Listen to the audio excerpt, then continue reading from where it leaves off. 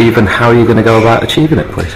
Well, at the moment I'm shooting high key. Basically, I want to try and bring out the glossiness of the, the hair, the shape, and uh, effectively try and win this competition. Uh, at the moment I've got a, got a high key set up. Uh, we're going to backlight it as well to try and bring out the shape from the rear of the hair. And we've got a front light to try and bring out the glossiness and texture.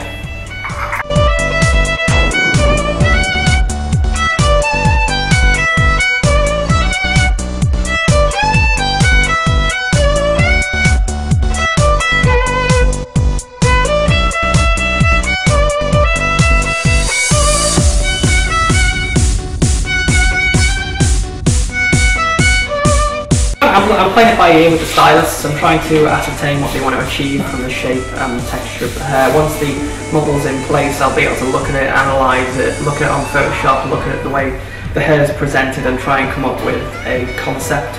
Um, at the moment, we've got two short-haired models, so we've got to create some nice shapes effectively.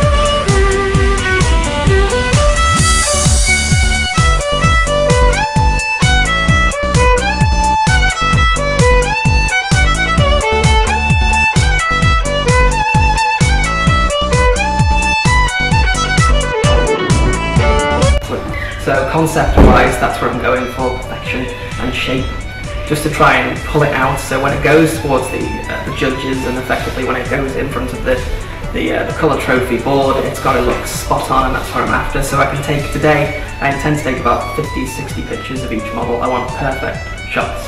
So I'm not going to be snapping away and snapping away. I want specific shots. So I'm going to work with the stylist and trying to create some good images really.